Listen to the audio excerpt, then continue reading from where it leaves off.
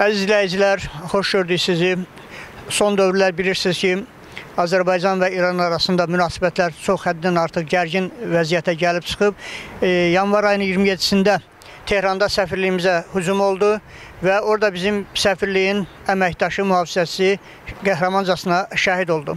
Ümumiyyətlə İran tarix boyu biz əgər tarixə səyahət etsək, İran tarix boyu, İran 200 ildir Rusiya ilə birləşərək Azərbaycan torpaqlarının e, işğal edilməsi uğrunda, bölünməsi uğrunda mübarizə aparıb və mübarizədə də öz niyyətlərinə nail olublar. Azərbaycan torpaqlarının bölüşdürülməsi həmişə İranın və Rusiyanın nəzarəti altında olub və onların birlikdə səyi ilə Azərbaycan torpaqları bölünüb. Və bu günləri də təbii haldır ki, İranda baş verən hadisələr, Tehranda baş verən hadisələr yenə də onların öz erməni qardaşlarını müdafiə edərək onların yanında olması ilə əlaqədar olaraq, yəni torpaqlarımızın azad edilməsinə bağlı onlar bunu həzm etmək, bu qələbəmizi həzm etmək istəmirlər. Biz bu məsələ ilə bağlı insanlarla Azərbaycanda olan biz həmvətənlərimizlə görüşüb, yəni bu məsələyə münasibət bildirməsini istədik. Ümumiyyətlə İran Azərbaycana qarşı niyə bu addımları atır? İran erməni şeydir. dostudur, bizim də düşmənimiz. Vəssalam. İran hakimiyyəti düşməndir, bizə ermənilərin də dostudur. Yalandan adın qoyurlar müsəlmanlıq müsəlman. Nə tərə burada məscidlərdə donqu saxlayırdı erməni. Münasibətim odur ki, İran əvvəldən bizim düşmən, Farslar bizim əvvəldən düşmənimiz olub da, nə? Erməniyə kömək eləyən, erməni bizim düşməndir. Erməniyə kömək eləyən kim olacaq? E? Düşmənimiz də Fars bizim. İranla nə münasibətimiz olacaq? Həmişə bizə düşmən olublar. O da biz oxumuşuq, görmüşük. Bizim hesabımıza ölkə qurublar da. İran həmişə türklər idarə edir. Tamamdır. Sorğu keçiririk. Son dövrlərdə mənim İranla Azərbaycan arasında münasibətlər çox gərginləşib və bilirsiniz ki, onlar Tehranda səfirliyimizə hücum etdilər və bizim şəhidimiz var.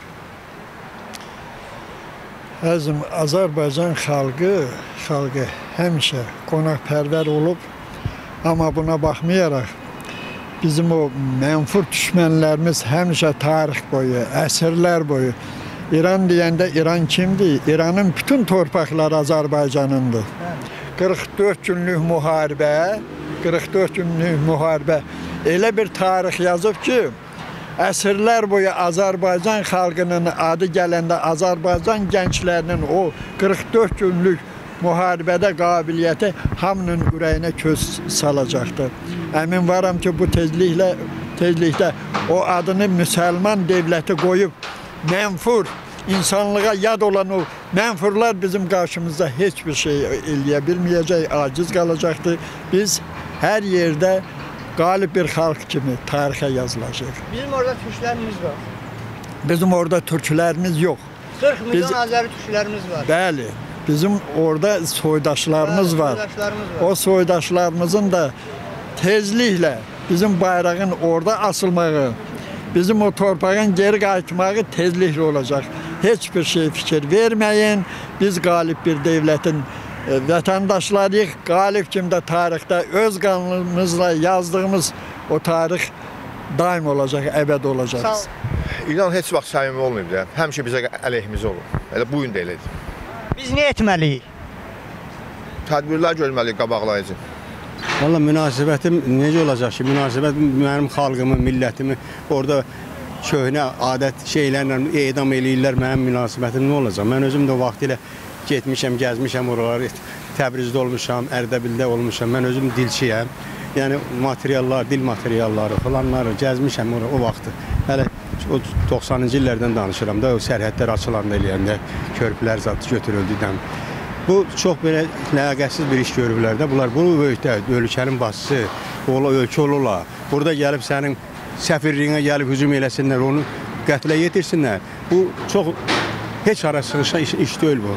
Başqa xalqlara kömək eləyirik, millətlərə kömək eləyirik. Özümüz özümüzə belə şey olmaz axı. Bax, tarixən heç olmasa bir dövlət olub hamısı bir yerdə.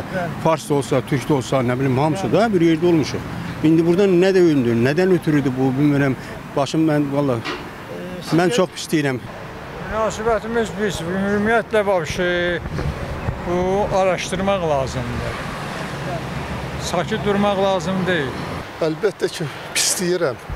Elə bir şey olar. Müsəlman olasan, heç başqa şey demirəm.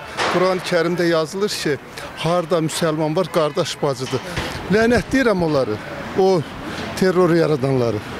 Bildiyiniz kimi e, İranda Tehranda bizim səfirliyimizə qeyd etdiyiniz kimi terror aktı baş vermişdir və bu hesab edirəm ki, bizim həm ölkəmizə qarşı, həm xalqımıza qarşı, həm dövlətimizə qarşı İran tərəfinin, İran hakimiyyəti tərəfindən edilən e, çox kəskin bir əks reaksiyadır.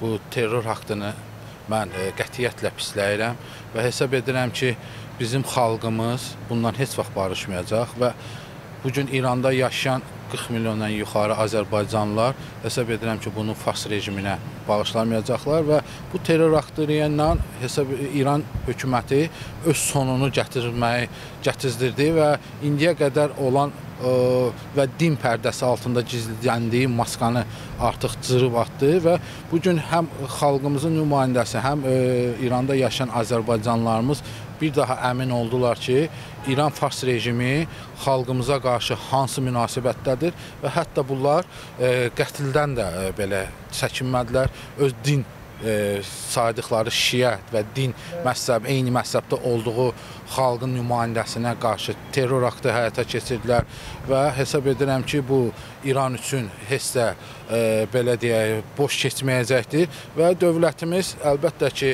həm öz e, diplomatlarına, həm öz səfirliyinə qarşı aparılan bu vəhşi terrorun cavabını verəcəkdir. İrandan hesabat istənilməlidir.